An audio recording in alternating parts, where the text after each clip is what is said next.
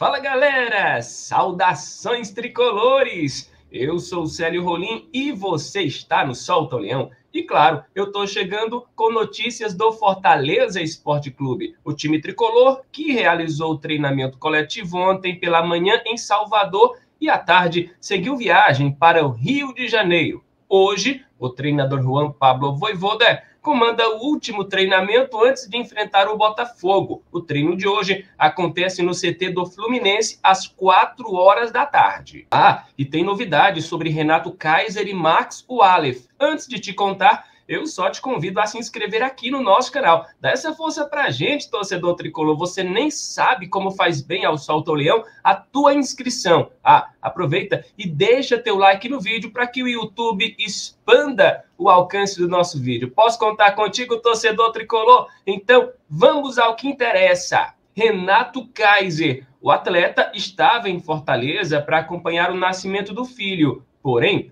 Hoje, às 5h20 da manhã, o jogador embarcou no voo da Gol rumo ao Rio de Janeiro, onde vai se integrar ao elenco tricolor que vai dar combate amanhã ao time do Botafogo pela Série A. Portanto, Renato Kaiser vai ser uma das opções de Juan Pablo Voivoda. Com relação ao goleiro Max Wallace, o atleta não viajou para Salvador por conta de uma conjuntivite a expectativa da diretoria era de que ele seguisse viagem para o Rio de Janeiro na sexta. O atleta ainda segue em observação pelo Departamento Médico Tricolor. Assim, Marcelo Boeck deve seguir na meta tricolor, pelo menos no jogo contra o time do Botafogo. O jogo contra o Botafogo é válido pelo Campeonato Brasileiro de Futebol, onde o Fortaleza busca ainda a sua primeira vitória. Alô, Boeck, garante o empate lá atrás, que Kaiser e companhia vão garantir a vitória e a comemoração vai ser a lá Bebeto. Torcedor tricolor, vamos acreditar e confiar na vitória do Fortaleza.